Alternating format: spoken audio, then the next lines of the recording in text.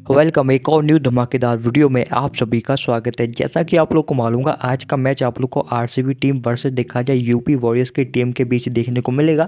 तो हम बात करने वाले हैं, क्या आरसीबी टीम कम कर सकती है? देखा जाए लास्ट के दो मैच ये टीम हार चुके हैं, जहाँ पर दिल्ली की टीम से और देखा जाए मुंबई की टीम से इन्हें बहुत बुरी तरीके से हार झेलनी पड़ी है। अब क्या आरसीबी टीम यूपी वॉरियर्स को हरा पाएगी? क्योंकि अगर ये मैच भी आरसीबी टीम हार जाती है तो कहीं ना कहीं आरसीबी टॉप थ्री में नहीं जा पाएगी। और अगर टॉप थ्री में नहीं जाएगी तो यानी कि आरसीबी टीम फिर से ट्रॉफी नहीं जीत पाएगी। तो हम इसी टॉपिक पे बात करने वाले हैं कि आरसीबी टीम यूपी वॉरियर्स को हरा सकती है। देखिए, अगर हम बात करें आरसीबी की टीम की, देखिए, बहुत अच्छी, बहुत स्ट्रॉन्ग ये टीम देखने को मिलती है। क्योंकि देखिए, स्मृति मंदाना सोफी डिवाइन फिर एस मेघना देखने को मिलती हैं, फिर एलिस पैरी हो गई रिचा घोष मतलब अच्छा खासा बैटिंग ऑर्डर है। लेकिन कहीं ना कहीं इस टीम में एक चीज़ की कमी खलती है। जब देखिए, स्मृति मंदाना आउट हो जाती है सोफी डिवाइन आउट हो जाती हैं तो कहीं ना कहीं ये टीम अंडर प्रेशर आ जाती है। क्योंकि देखिए, आपकी टीम के दो क्वालिटी अगर बल्लेबाज आउट भी हो जाएँगे, लेकिन फिर भी आपको अपने ऊपर भरोसा रखना चाहिए। जैसे कि ऋचा घोष बहुत जल्दी आउट हो गई थी, आप लोगों ने देखा होगा मुंबई के मैच में, लेकिन आपको पूरा का पूरा आप लोग डिपेंड कर जाते हो फिर एलिस पैरी के ऊपर, क्योंकि एलिस पैरी अगर देखिए बहुत ज़्यादा अंडर प्रेशर हो जाते हैं, फिर उनके पास कोई ऐसा प्लेयर नहीं होता है, क्योंकि उन्हें नंबर छः नंबर सात के बैट्समैन के साथ खेलना पड़ता है।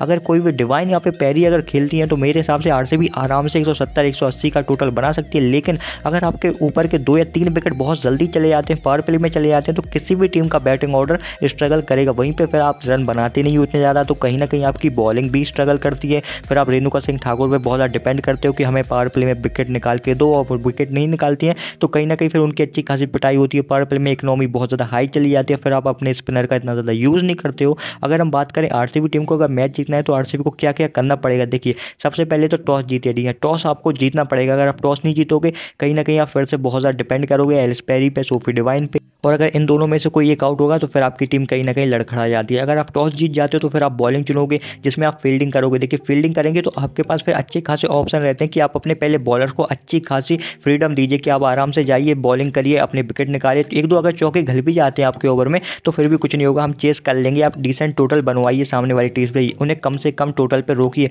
अगर आप, अगर पहले जैसे दिल्ली जैसा अगर मैच कर देते हो कि एक सौ अस्सी, एक सौ नब्बे बनवा देते हो तो ज़ाहिर सी बात है, कोई भी बैटिंग लाइनअप स्ट्रगल करेगा इतना बड़ा स्कोर बनाने में।